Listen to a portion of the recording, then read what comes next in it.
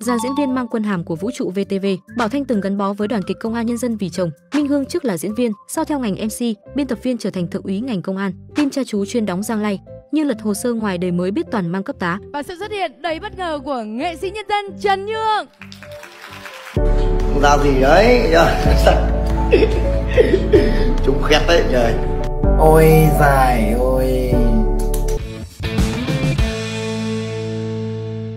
Vũ trụ phim giờ vàng toàn những anh tài ẩn giật. Nào ai có ngờ được những mỹ nhân xinh đẹp dịu dàng thực ra lại là một chiến sĩ công an, còn những nam nghệ sĩ chuyên đóng vai Giang Lay thì ngoài đời lại là những tướng tá hàng thật giá thật. Sở hữu vẻ ngoài xinh đẹp lại có diễn xuất duyên dáng trên phim, Bảo Thanh vốn là nữ diễn viên đã rất quen mặt với khán giả. Qua loạt bộ phim ăn khách như Sống chung với mẹ chồng, Về nhà đi con, Bảo Thanh tạo dựng được tình cảm với người xem.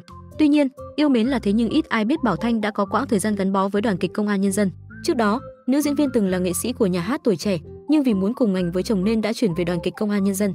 Sau thời gian gắn bó, Bảo Thanh xin nghỉ và trở lại làm diễn viên tự do. Dù vậy, hình ảnh nữ diễn viên trong bộ trang phục công an đã khiến nhiều người phải ấn tượng.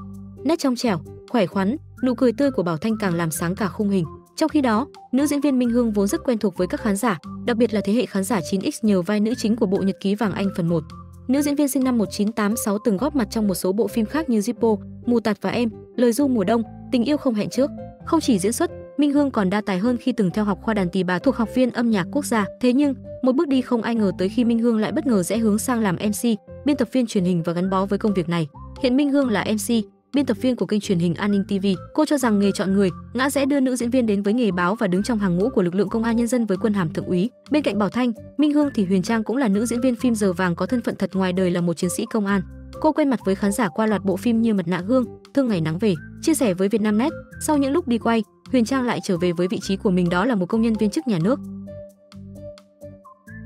Không chỉ những mỹ nhân kể trên, vũ trụ phim Việt còn có một sự trái ngược không hề nhẹ, đó là trên phim làm Giang Lay, ngoài đời đeo quân hàm, nghệ sĩ nhân dân Trần Nhượng, nghệ sĩ nhân dân Nguyễn Hải, nghệ sĩ ưu tú Hồ Phong đều là những nam diễn viên thường xuyên đóng vai phản diện. Xong, lật hồ sơ ngoài đời mới thấy các chú diễn giỏi cỡ nào. Nghệ sĩ nhân dân Trần Nhượng hay đóng phản diện, thậm chí những cái nhếch mép của chú trông rất đều. Ấy vậy mà ngoài đời lên hình lại vô cùng chính trực, đặc biệt là lúc mặc bộ trang phục công an, đeo quân hàm đại tá thì lại càng phong độ, uy nghiêm hơn. Nghệ sĩ nhân dân Nguyễn Hải cũng toàn đóng Giang Lay, sở hữu điệu cười thương hiệu với khoảng 20 vai diễn phản diện trên phim. Nhưng ngoài đời, nghệ sĩ Nguyễn Hải lại là đại tá công an, phó trưởng đoàn kịch nói công an nhân dân và còn là luật sư của đoàn luật sư Hà Nội. Giống nghệ sĩ Nguyễn Hải, nghệ sĩ Hồ Phong cũng ghi dấu ấn với khán giả qua loạt vai phản diện và hầu như cũng toàn đóng Giang Lay. Ấy thế mà ngoài đời, nghệ sĩ Hồ Phong là nghệ sĩ thuộc nhà hát kịch nói công an nhân dân, mang quân hàm trung tá. Tất nhiên, nhắc đến các nghệ sĩ có quân hàm thì không thể kể đến hai nghệ sĩ hài quen thuộc, đó là Quang Tèo và Tự Long. Lên sân khấu, trên màn ảnh có thể tiêu táo, pha trò để khán giả cười, song ngoài đời, nghệ sĩ Quang Tèo mang quân hàm thượng tá, còn nghệ sĩ Tự Long mang quân hàm đại tá.